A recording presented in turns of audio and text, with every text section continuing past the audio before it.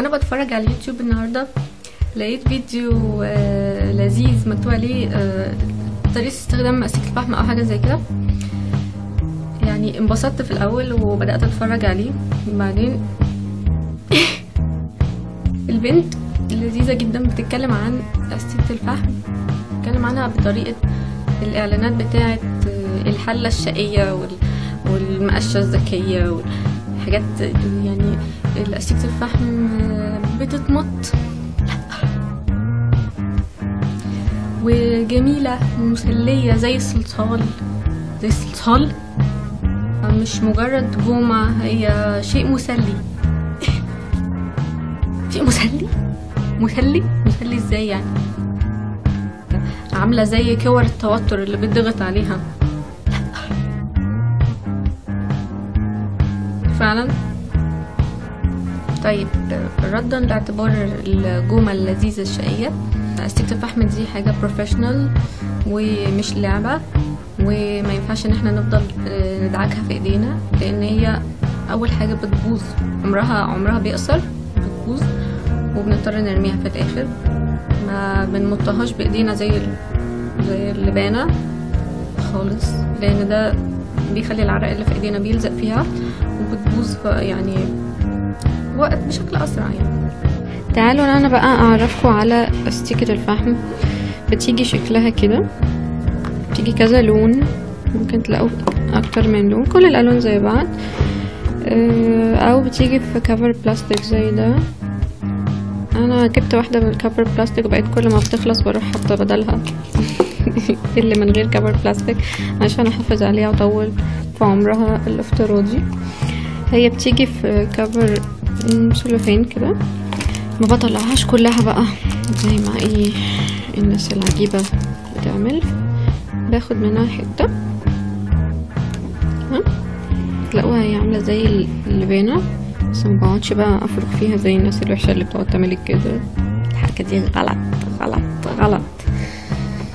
أقول لكم بقى غلط ليه. إيه اللي بيحصل لما أنا أفضل أعجن في الاستيكة الفحم؟ اولا بتلم التراب وأي حاجة موجودة في المسام بتاعة الجلد حتى لو إحنا مش شايفينها بتمصها بتلزق فيها. حبيبات الرصاص أو الفحم اللي موجودة على الورقة بتمصها بدل ما بتمسحها بالبري زي الأستيكة العادية.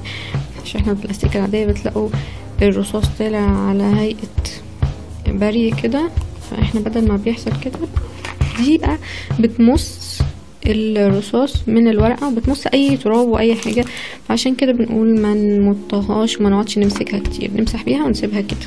استخدام بقى أستيكة الفحم في الشيدنج. أول حاجة بنعمل أستيكة الفحم بنضغط عليها على الشكل اللي إحنا عايزين نمسح بيه. لو حاجة صغيرة بنمد بوزها كده أو بنمطها شوية حتة صغيرة وبنمسح حتة صغيرة. لو عايزين نمسح حتة كبيرة بنخلي سطح الأستيكة كبيرة. دلوقتي لما نيجي نمسح هنعمل بالشكل ده.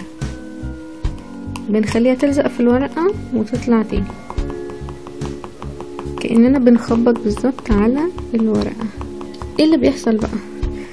الرصاص بيطلع في أستيكة الفحم. نعمل كده.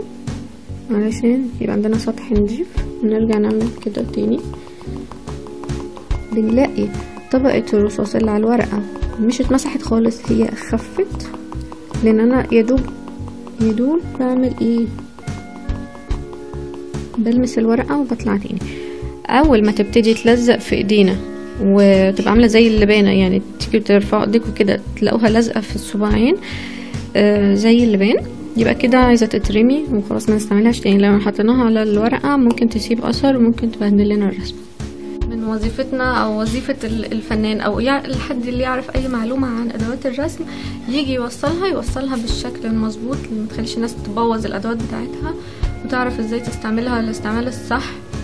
مش عشان أحببكم في الحاجة أروح أقول لكم إن إحنا ممكن نلعب بيها ونبوظها عادي و... هنتكلم كتير عن الأدوات وطريقة استعمالها. لو عجبكم الفيديو وعايزين تستمروا في إنكم تعرفوا أكتر عن استعمال الأدوات حافظوا عليها. ما تنسوش تعملوا لي subscribe على القناة بتاعتي. واشوفكم في الفيديو الجاي. bye